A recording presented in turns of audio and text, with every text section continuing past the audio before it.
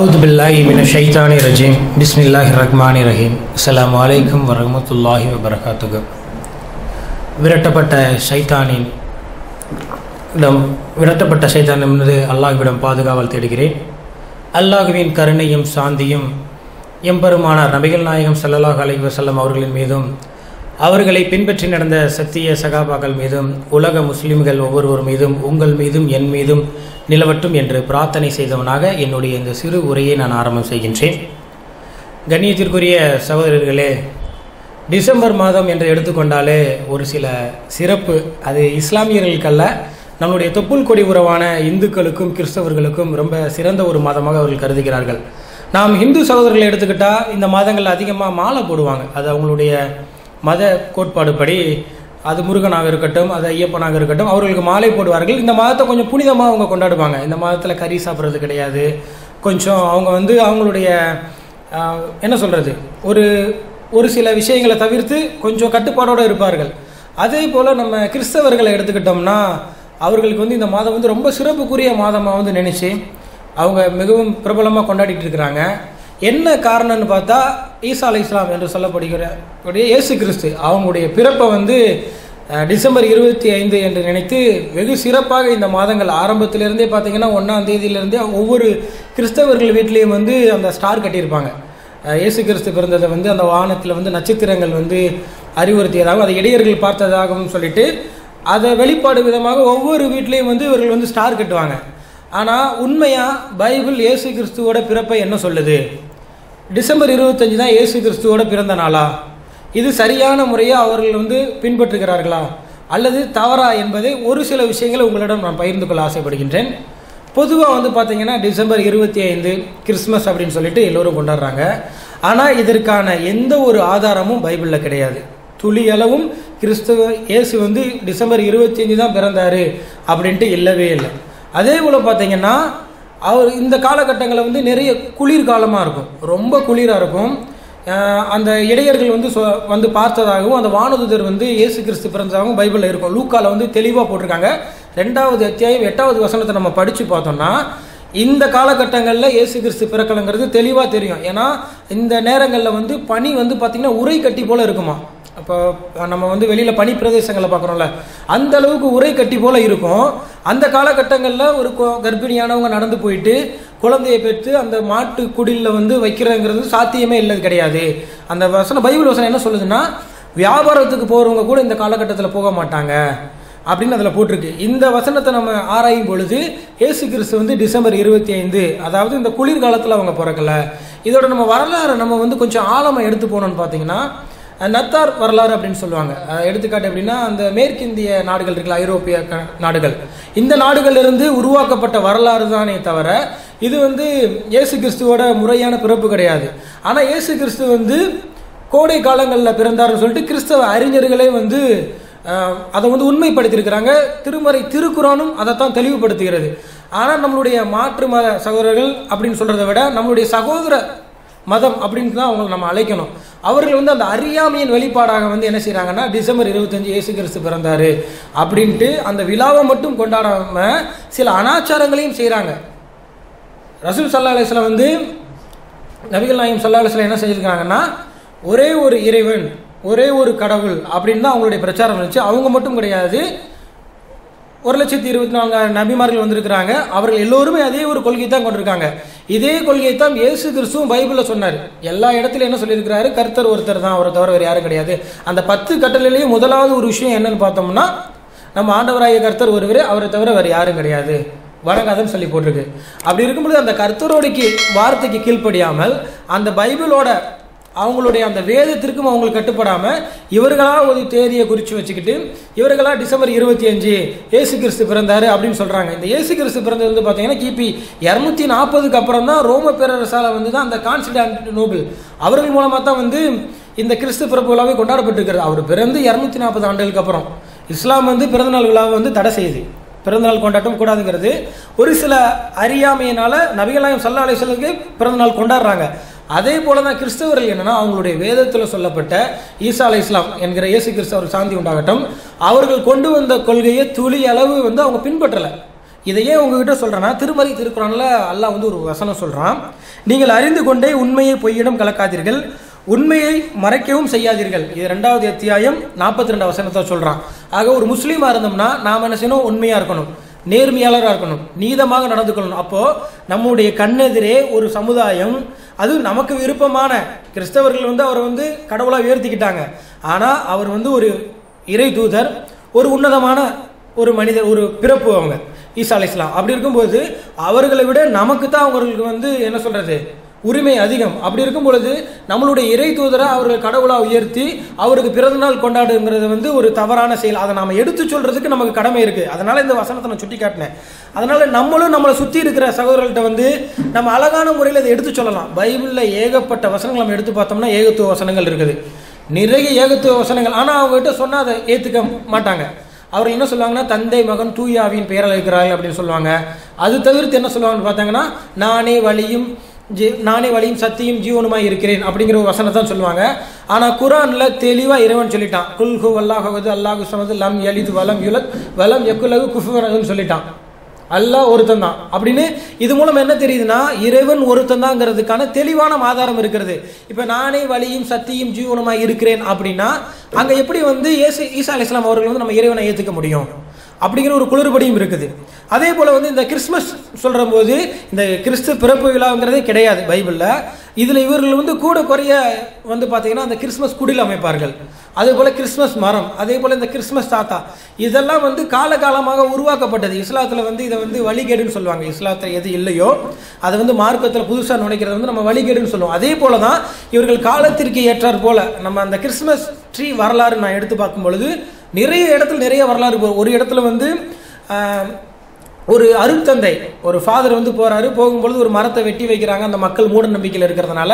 திரும்பி வரும்பொழுது அந்த மரம் வந்து அப்படியே முளைச்சிட்டு வர்றதுனால மக்கள் எல்லாம் அந்த மரத்தை இறைவனை ஏற்றுக்கிட்டு வந்தனால இந்த ஃபாதர் அந்த இடத்துல மண்டி போட்டுட்டு மறுபடியும் அதை வந்து ஒரு அந்த கிறிஸ்மஸ் மரமாக வ- ஒரு வரலாறு வருது. இன்னும் ஒரு சில இடங்களில் வேறு மாதிரி வருது. அது வந்து ஒரு ஃபாதர் போகும்பொழுது அது மினுகுனுச்சு அப்படின்னு சொல்லிட்டு. ஸோ பைபிளில் இல்லாத சில விஷயங்களை இவர்கள் எடுத்துக்கொண்டு மக்களை வந்து பிரெயின் வாஷ் செய்து இதுதான் இருக்குது அப்படின்னு சொன்னாங்க. இது வந்து மிகப்பெரிய தவறு. ஏன்னா இறைவனுக்கும் இறைவனுடைய தூதர்களுக்கும் வந்து மாறு செய்கிறது வந்து மிகப்பெரிய தவறு. ஆனால் நம்முடைய சகோதர சமுதாயம் அதை செய்து கொண்டிருக்கிறது. அதை எடுத்து சொல்கிறது நம்மளுடைய கடமை.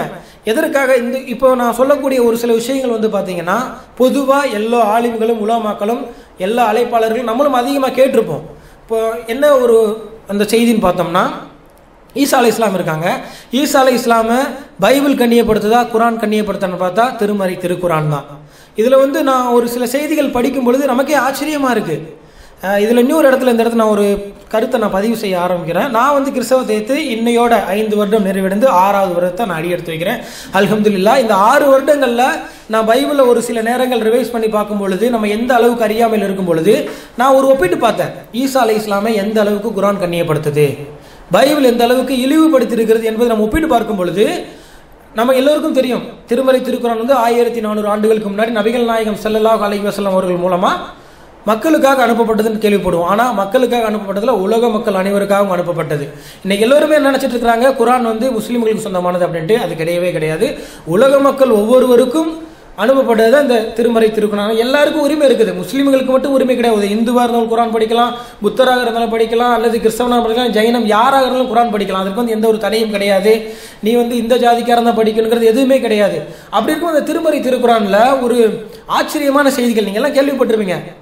நம்முடைய முகமது நபி சொல்லா அலுவலாம் அவங்களுடைய பெயர் வந்து மூணு நான்கு இடத்துல மட்டும்தான் டைரக்டாக குறிப்பிடப்பட்டிருக்கும். அதாவது நேரடியாக மற்ற இடங்கள் எல்லாத்துலேயும் நபிகள் நாயகம் நபியே அப்படின்னு சொல்லி தான் குறிப்பிடப்பட்டிருக்கும். அதே போல் வந்து பார்த்தீங்கன்னா மரியம் அலிஸ்லாம் அவங்களுக்கு வந்து பார்த்தீங்கன்னா அவங்களுடைய பெயர் முப்பத்தி ஒரு இடங்களில் குறிப்பிடப்பட்டிருக்குது. அதே போல் ஒரு தனி அத்தியாயமே இருக்குது. இந்த செய்திகள்லாம் நீங்கள் கேள்விப்பட்டிருக்கலாம். இதை எதற்காக சொல்கிறேன்னா கிறிஸ்தவர்கள் வந்து உணர்ந்துக்கிறணும் அவங்களுடைய பைபிள் பைபிளாக இருக்கட்டும் அல்லது திருவுவிலியமாக இருக்கட்டும் அல்லது பரிசுத்த வேதாகமாக இருக்கட்டும் எதாக இருக்கட்டும் இதில் வந்து எவ்வளோ தூரம் மகிமைப்படுத்தி இருக்கிறாங்க அப்படிங்கிறத அவங்க ஒப்பிட்டு பார்க்கணும். இன்றைக்கி வந்து இஸ்லாத்தை வந்து ஒரு வந்து ஒரு வெறுப்புணர்வோடு தான் கிறிஸ்தவர்கள் நம்மளை கையாளுறாங்க. அந்த ஒரு கண்ணோட்டத்தில் அவர்கள் நம்ம பார்க்காம ஈசா அலை இஸ்லாம் நம்ம கடவுள்னு சொல்கிறார இயேசு கிறிஸ்துவ அவங்க ஏன் தூதர்னு சொல்கிறாங்க என்ன காரணத்தினால மரியம் அலிஸ்லாம் பற்றி ஒரு தனி அத்தியாயம் வந்திருக்கு? அதே போல் ஒரு சிறப்பான விஷயம் பார்த்தீங்கன்னா ஆல இம்ரான் சொல்லிட்டு மூணாவது அத்தியாயத்தில் அவருடைய வரலாறுகள் பற்றி போட்டிருக்கு. இம்ரான் சந்ததியினு சொல்லிட்டு. ஸோ இந்த விஷயங்கள் எல்லாம் ஏன் போட்டிருக்கிறாங்க அப்படிங்கிற ஒரு கண்ணோட்டத்தில் நம்மளுடைய கிறிஸ்தவ சகோதரர்கள் வந்து இந்த புராணம் நம்ம அணுகுனாங்கன்னா அவங்களுக்கு இன்னும் வந்து நிறைய படிப்பினைகள் இருக்கும். ஆனால் அதை செய்ய மாட்டாங்க என்ன காரணம் தெரில ஒரு நபி மொழியில் வந்து நபிகளா இஸ்லாம் சொல்கிறாங்க நான் ஈசா அலை இஸ்லாம் ஏசு கிறிஸ்துக்கு வந்து நெருக்கமானவனாகவும் ரொம்ப நெருங்கியவனாகவும் இருக்கிற அப்படின்னு சொல்கிறாங்க இதை கேட்ட சகாபாக்கள்லாம் அது எப்படி அப்படின்னு சொல்லி கேட்கும் பொழுது அதுக்கு நபிகள் நாயகம் சல்லா சொல்கிறாங்க எல்லோ இறை தூதர்களும் சகோதரர்கள் ஆவார்கள் ஆனால் அவர்களுடைய தாயார்கள் தான் வேறுபடுவார்கள். அதே போல தான் ஈசா அலி இஸ்லாம் அவர்களுக்கும் நான் ரொம்ப நெருக்கமானவன். அதே போல் நான் ரொம்ப பாசத்துக்குரியவன் சொல்கிறாங்க இது வந்து அவுகுரை அலியல்லா அவர்கள் அறிவிக்கிறாங்க.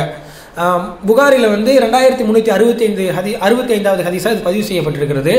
ஆக எப்படி ஈசா அலி இஸ்லாம் யூசு கிறிஸ்து அவர்களை நபிகள் நாயகம் சல்லாஸ்லாம் அவர்கள் கண்ணியப்படுத்தினார்களோ அவர்களை மரியாதை வைத்தார்களோ அவர்களை நேசித்தார்களோ அவர்களுக்கு உண்டான அந்த கண்ணியத்தை கொடுத்தார்களோ அதே கண்ணியத்தை கிறிஸ்தவ சகோதரர்கள் ஏன் நபிகள் நாயகம் சல்லா அலி இஸ்லாம் அவர்கள் நேசிக்காமல் அவர்கள் மீது கண்ணியம் வைக்காமல் இருக்கிறார்கள் என்பது என்னுடைய கேள்வியாக இருக்கிறது.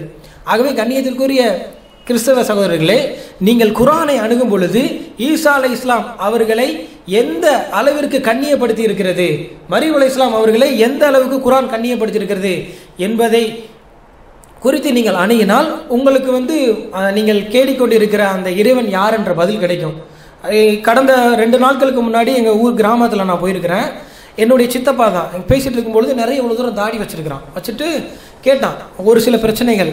முஸ்லீம் ஆகிறதுக்கு என்ன செய்யணும்? பக்கா கிறிஸ்டியன்ஸா நான் சொன்னேன் முஸ்லீம் ஆகிறதுக்குலாம் ஒன்றும் இல்லை. ரெண்டு வார்த்தையை நம்ம சொன்னால் போதும் அப்படின்னு நான் அந்த வார்த்தையை நான் சொல்கிறேன் அப்படி நான் சொன்ன அவங்க சொன்னாங்க நீ சொல்லு நான் சொல்கிறேன் அப்படின்னாங்க. இது வந்து எடுத்தோம் கவுத்துன்னு சொல்கிறது கிடையாது. அதை நாவால் நம்ம சொல்லி மனரால் உணரணும் அப்படின்னு சொல்லிட்டு அவருக்கு வந்து இஸ்லாத்தை குறித்து நிறைய விஷயங்கள் நம்ம சொல்லிட்டு இருந்தோம். அப்போ சொல்லும்போது இந்த கிறிஸ்மஸ் டாப்பிக்கே என்கிட்ட எடுத்தார். இப்போ இந்த கிறிஸ்மஸ் வருது. இதை குறித்து உங்கள் குரானில் ஏதாவது சொல்லியிருக்கா? எனக்கு சொல்லு. ஏன்னா ஏசு கிறிஸ்துவ வந்து ஈசா நீங்கள் வந்து இறை தூதர்னு சொல்கிறீங்க அவர் வந்து நீங்கள் வந்து தூ கடவுளாக ஏற்றுக்க மாட்டீங்க. அப்போ கிறிஸ்மஸை குறித்து ஏதாவது சொல்லியிருக்கணுமே. அப்படின்னு சொல்லும்போது நான் அவருக்கு ஒரே ஒரு விளக்கம் தான் கொடுத்தேன். கிறிஸ்மஸுங்கிறது இவர்கள் வந்து பா பாரம்பரிய ஒரு நிகழ்ச்சி தான். இது வந்து வரலாறு கிடையாது. குரானில் எடுத்துக்கிட்டோம்னா ஃபிரோனுன்னு சொல்லிட்டு ஒரு கொடுமையான மன்னன் இருந்தான். அவன் வந்து பார்த்தீங்கன்னா ஒருத்தன் வந்து மக்களை வந்து கடவுள் நான் தான் கடவுள் ஆண்களை கொள்றது பெண்களை உயிரோடு வரும்னு சொல்லிட்டு இருந்தான். அவனுடைய வரலாறு இருக்கு. அது வந்து மக்களுக்கு படிப்பனையாக இருக்குது. அதே போல இப்போ நம்ம ஒரு காணொலியில் பார்த்தோம் எறும்பு. இதோட வரலாறுகள் இருக்குது. இதற்கெல்லாம் ஆதாரமான தன்மைகள் இருக்குது. ஆனால் கிறிஸ்மஸ்ங்கிறது வந்து வரல அது அது வந்து ஆதாரபூர்வமான கிடையாது. இது இவர்களாக உருவாக்கி கொண்டதுன்னு சொன்னேன். அப்போ என்கிட்ட ஒரே ஒரு கேள்வி கேட்டால் அப்பயே நீங்கள் சிலையை வணங்க மாட்டீங்க. நாங்கள் சிலையை வணங்குறோமே. அப்படின்னு சொல்லும்போது நான் அதுக்கு ஒரே ஒரு பதில் தான் சொன்னேன். இந்த சிலையை வந்து இப்போ நான் வந்து நைட்டே வந்து உடைச்சிட்டேன்னா நம்ம எல்லாருக்கும் தெரியும் காலையில் நான் தான் உடைச்சேன்னு சொல்கிறதுக்கு சக்தி கிடையாது. இந்த சிலையை ஒரு மனிதன் தான் செய்கிறான் ஒரு மனிதன் ஒரு ம உருவாக்கப்பட்டது வந்து கடவுளாக இருக்காது. படைப்புகள் கடவுளாக இருக்காது. படைத்தவன் தான் கடவுளாக இருக்கும் அப்படின்னு சொல்லிட்டு அவருக்கு ஒரு சில செய்திகள் கொடுத்ததுக்கப்புறம் அவனுக்கு வந்து ஒரு விழிப்புணர்வு வந்துச்சு. அவன் பண்ண ஃபஸ்ட்டு விஷயம் என்னென்னா வீட்டில் கட்டி இந்த ஸ்டாரை கழட்டி வச்சுட்டான். எனக்கு அந்த இடத்துல இருந்துச்சு. நமக்கு நேரங்கள் பத்தாதனால இன்னும் வந்து என்ன சொல்கிறது காலங்கள் அதனால் அவருக்கு வந்து எடுத்து சொல்ல முடியல. இன்ஷால வரக்கூடிய காலங்களில் நாம் சொன்னால் கேட்டுக்கிற அளவுக்கு அவங்க இருக்கிறாங்க. ஏன்னா இப்போ இருக்கக்கூடிய இந்த நவநாகரிக உலகத்தில் இஸ்லாம் நிறைய செய் நிறைய வழியில் வந்து பரவிட்டு இருக்கிறது. அது இணையமாக இருக்கட்டும் யூடியூப்பாக இருக்கட்டும் அல்லது ஃபேஸ்புக்காக இருக்கட்டும் எதாக இருக்கட்டும் இஸ்லாத்தோட செய்திகள் பரவிக்கிட்டே இருக்குது. நிறைய பேர் இஸ்லாத்தை ஆராய்ச்சி செய்ய ஆரம்பிச்சிட்டாங்க. எங்கள் கிராமத்திலேயே நிறைய பசங்க வந்து நான் போனோன்னே எனக்கு அப்புறம் என்ன புத்தகம் கொண்டு வந்தீங்கன்னு கேட்குற அளவுக்கு இன்றைக்கி இருக்குதுன்னா இஸ்லாம் அந்த அளவுக்கு பறந்துட்டு இருக்குது. நாம் செய்ய வேண்டிய ஒரே ஒரு விஷயம் என்னென்னா இஸ்லாத்தில் மட்டும் கிடையாது இஸ்லாத்தை சுற்றி இருக்கக்கூடிய தீமைகளை கலந்து விட்டு நன்மைகளை எடுத்து சொல்லணும். இன்றைக்கி எப்படி இந்த கிறிஸ்தவத்தை வந்து கிறிஸ்மஸை வந்து கிறிஸ்தவத்தில் புகுத்துனாங்க. அதே போல் ஒரு சில விஷயங்களை வந்து ஒவ்வொரு மதங்களையும் புகுத்தி இருக்கிறாங்க. இதை நம்ம எடுத்து சொல்கிறதுக்கு கடமைப்பட்டிருக்கோம். அப்படி நாம் அவர்களுக்கு எடுத்து சொன்னோம்னா அவர்கள் விளங்கி உண்மையான மார்க்கம் என்ன? உண்மையான இறைவன் யார்? நம்ம வந்து யாரை வணங்கணும்? அப்படிங்கிற ஒரு தெளிவுக்கு வருவாங்க. ஆகவே கண்ணியத்திற்குரிய சகோதரர்களே நாம் நாம் அனைவரும் நம்மளுடைய அழைப்பு பணியை வந்து தூரிதப்படுத்தணும். இப்போ இருக்கிற காலகட்டங்களில் வந்து நாம் ரொம்ப வந்து பின்தங்கி இருக்கிறோம். ஒரு சில செய்தியை வந்து நான் பகிர்ந்துக்கிறேன். நேரம் குறைவாக இருக்கலாம். ஒரு இரண்டு நிமிஷத்தில் நான் அதை முடிச்சுக்கிறேன். என்னென்னா கடந்த காலகட்டங்களில் நான் வந்து ஒரு சில ரிசர்ச் பண்ணும் பொழுது பதினஞ்சு டு இருபது வயசு இளைஞர்கள் தான் ரொம்ப வந்து அந்த சிறுவர் சீர்திருத்த பள்ளியில் வந்து இருக்கிறாங்க. நான் இது ரெண்டு வாரத்துக்கு முன்னாடி தந்தியிலேயே வந்து தினமணியில் விளம்பரமாக வந்துச்சு. சைடில் ஒரு ஆர்டிக்கலாகவே வந்துச்சு. அதை படிக்கும் பொழுது நம்மளும் ஒரு சில கருத்துக்களில் கணிப்பு எடுக்கும் பொழுது ரொம்ப வருத்தப்படக்கூடிய விஷயம் என்னென்னா இஸ்லாமிய இளைஞர்கள் நிறைய பேர் உள்ளே இருக்கிறாங்க. அவங்களுடைய அற்ப காரணம் மது மாது போதை. போதை மாத்திரைலாம் உட்கொண்டு அவங்க உள்ளே இருக்கும் பொழுது அதை பார்க்கும் பொழுது நமக்கே மன வேதனையாக இருக்கிறது. அப்போது நாம் செய்ய வேண்டிய விஷயம் என்னென்னா இன்றைக்கி இருக்கக்கூடிய இந்த சிறுவர்கள் தான் நாளைக்கு நம்மளுடைய தலைமுறை. அவர்களை நாம் வந்து இன்றைக்கி நம்ம வந்து கைடன்ஸ் பண்ணலன்னா நம்மளுடைய சமுதாயம் சீரழிஞ்சிடும் இன்றைக்கே இஸ்லாமிய சமுதாயம் கஞ்சாய்க்கு அடிக்ட் ஆகிட்டு போதைக்கு அடிக்ட் ஆகிட்டு அவங்களுடைய வழி தெரியாமல் போயிட்டுருக்குறாங்க இதற்கெல்லாம் காரணம்னா நாம் வந்து மார்க்கத்தை இன்னும் ஆழமாக எடுத்து சொல்லலை. சொல்லிட்டு இருக்கிறோம். ஆனால் சரியான முறையில் எடுத்து சொல்லலைங்கிறது தான் என்னுடைய கருத்து. அதனால் நம்மளுடைய சகோதரர்கள் அனைவரும் வரக்கூடிய காலகட்டங்களில் இதையும் ஒரு இது வேண்டுங்கள்லாம் சொன்ன நான் சொல்கிறேன் இதையும் ஒரு வேலையாக எடுத்து அவர்களுக்கு நாம் அறிவுரை கூறி அவங்களுடைய குடும்பத்தாரையும் சந்தித்து அவங்க நல்வழிப்படுத்தணும். ஏன்னா நன்மை ஏவி தீமையை தடுப்பது இஸ்லாத்தில் ஒரு மிகப்பெரிய பங்கு. அதனால் நம்மளுடைய இளைய சமுதாயத்தை காப்பாற்ற வேண்டிய பொறுப்பு நமக்கு இருக்கிறது. ஆகவே நாம் அனைவரும் அந்த இளைய சமுதாயத்திற்காக துவா செய்தும் இஸ்லாமிய சமுதாயத்திற்காக துவா செய்தும் இஸ்லாத்தை மக்கள் அனைவரும் விளங்கிக் கொள்வதற்காகவும் இஸ்லாத்தை மக்கள் அனைவரும் புரிந்து ஏக இறைவன் பக்கம் வருவதற்காகவும் துவா செய்தும் துவா செய்தும் நாம் அனைவரும் நம்முடைய பணியை துரிதப்படுத்துவோம் என்று கூறி என்னுடைய இந்த சிறு உரையை நான் நிறைவு செய்கிறேன். வாகிர தவான ரபில் ஆலமின்.